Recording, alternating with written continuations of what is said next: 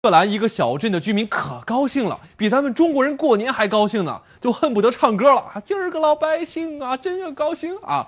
来看看哈，这是在我们的小镇上面排起了一个长队。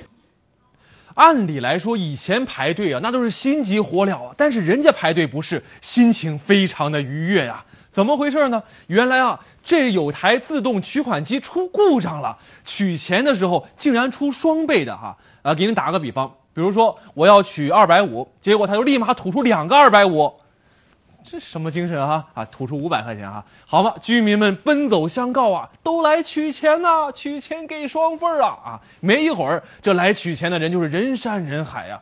银行事后发现了，还表示啊。这起事故呢，责任是由我们造成的，所以说居民偷走的钱啊，不取走的钱可以不用退回。同时呢，对于当天排了队没有取到钱的用户，我们表示深深的歉意。哈哈，气死我了！我要狠狠的批评你们这家英格兰的银行哈，你们太不像话了！都说打人不打脸呐，你们这不等于赤裸裸的抽咱们中国一些银行的嘴巴子吗？所以我决定，为了惩罚你，只要你敢到我们中国来开分行，我就号召我们全家啊，我认识的所有人都去办你们家的银行卡啊，忙死你们，让你们周六周日都不能休息。